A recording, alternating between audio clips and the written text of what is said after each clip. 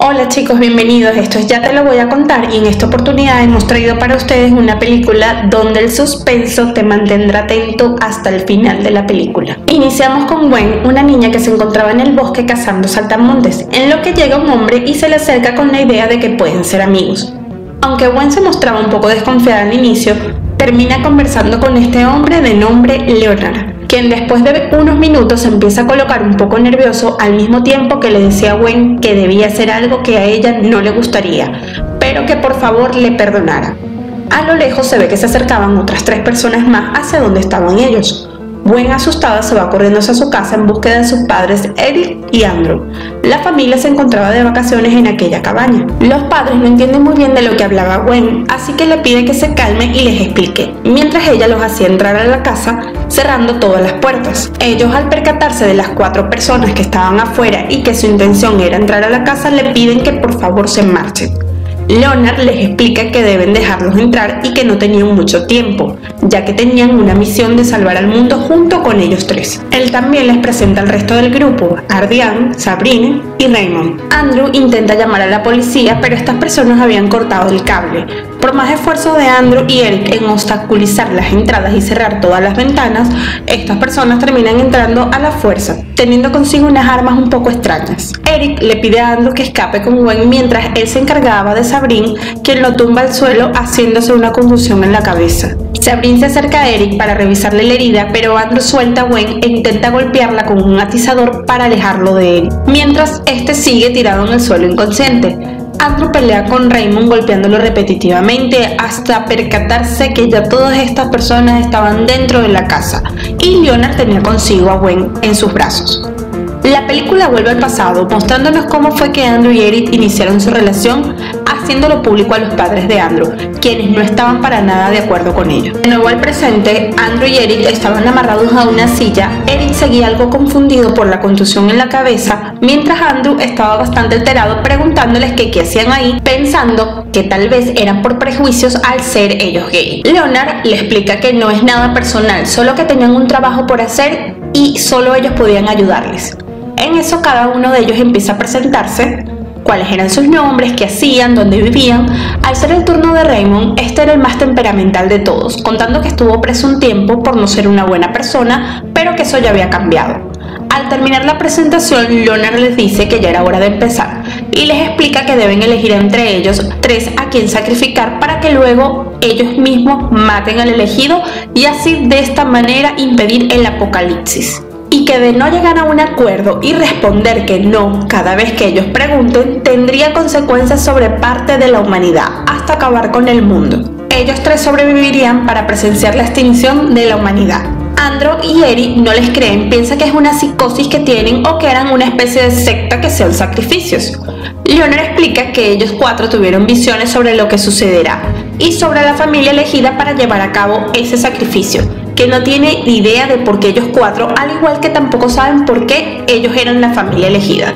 Solo que de no hacer el sacrificio conllevaría al fin del mundo. En eso, Leonard pregunta si habían elegido a quién iban a sacrificar. Ellos responden que no, y en ese momento Raymond se arrodilla con mucho temor, pronunciando las siguientes palabras.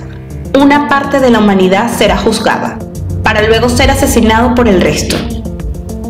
Andrew y Eric no podían creer lo que estaba sucediendo. Gwen estaba también muy asustada abrazado de Andrew.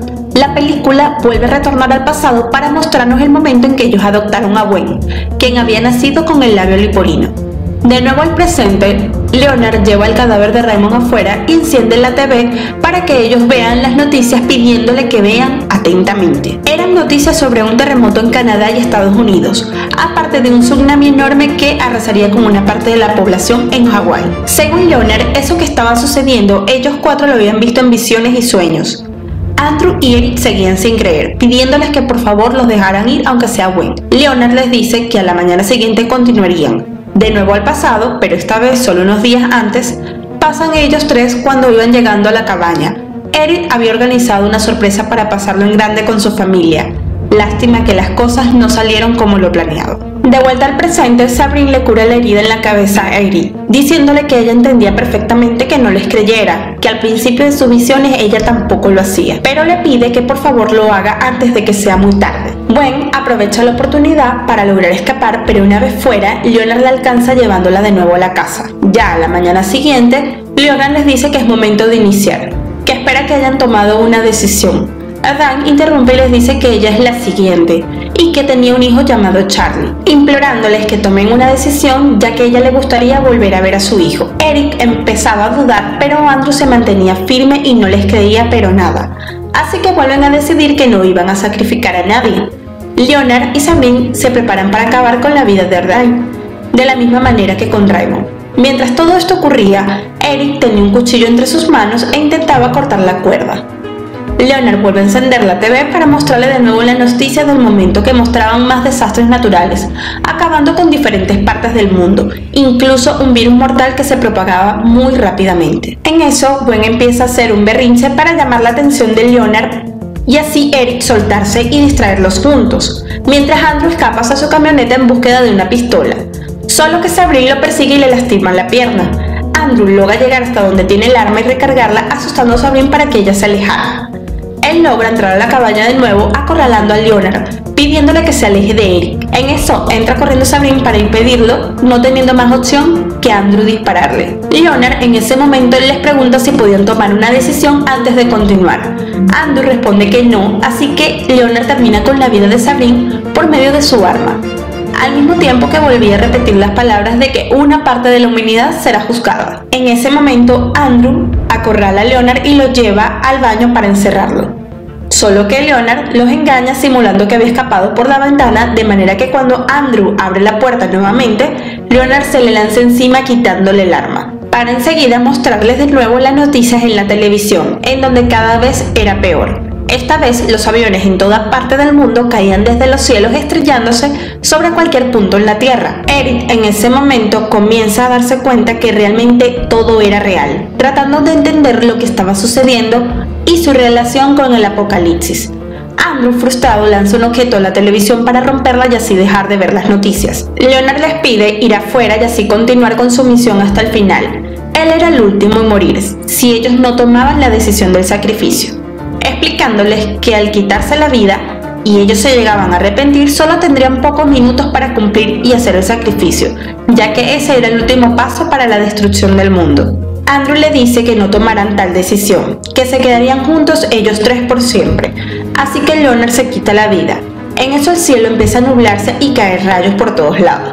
Eric le dice a Andrew que él vio una figura brillante detrás de Leonard y que él siente paz y tranquilidad, que entiende ahora todo hablando que ellos cuatro eran los cuatro jinetes del apocalipsis y que cada uno representaba la maldad, la alimentación, la sanación y el guía, que entendía que debían cumplir con el sacrificio y que él estaba preparado para irse, que por favor le disparara.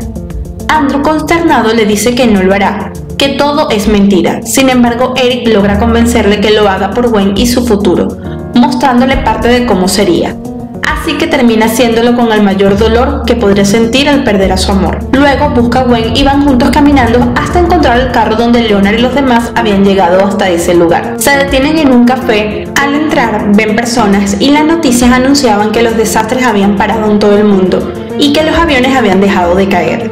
Es decir, que al parecer habían logrado salvar a la humanidad y detener su destrucción. Lo que termina realmente por convencer a Andrew de que todo era real fue encontrar las pertenencias de estas cuatro personas y ver que todo lo que ellos decían de quiénes eran era real. De esta manera, marchándose de nuevo con Gwen para iniciar su nueva vida. Bueno chicos, espero les haya gustado. Recuerden darle like y suscribirse. Hasta la próxima.